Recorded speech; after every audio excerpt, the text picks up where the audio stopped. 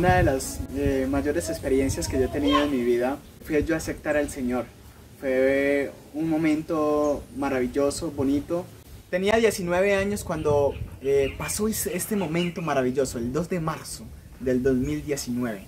Fui bautizado por el pastor Enger Osorio. Empecé a conocer el Evangelio aproximadamente a los 17 años, pero entonces yo le dije al Señor, Dios, yo quiero ser un miembro de iglesia, quiero entregar mi vida a usted. Pero entonces el Señor me empezó a mostrar cada día más de su palabra, enamorarme cada día más de Él. Uno de los sueños que yo llegué a tener en mi vida y que fue una experiencia bonita con Dios, que Dios me hizo un llamado. Yo estaba en cierto lugar y en mi sueño yo estaba acostado en una cama y de repente me desperté. Bajé porque vivía en un segundo piso, bajé al, al primer piso, miré la calle sola, sola, sola.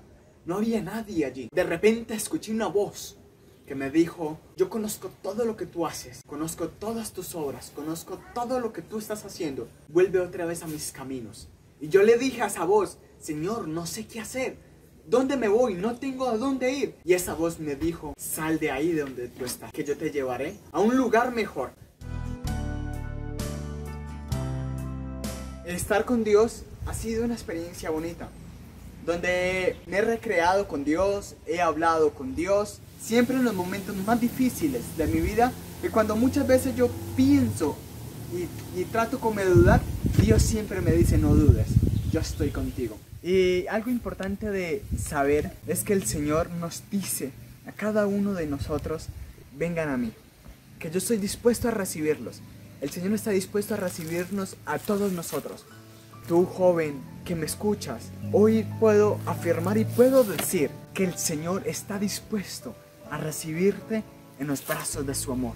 El Señor hoy te dice, ven a mí. Hoy puedes tú tomar la decisión de entregarle al Señor tu juventud.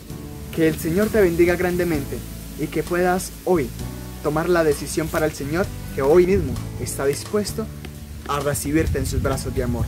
Dios te bendiga grandemente.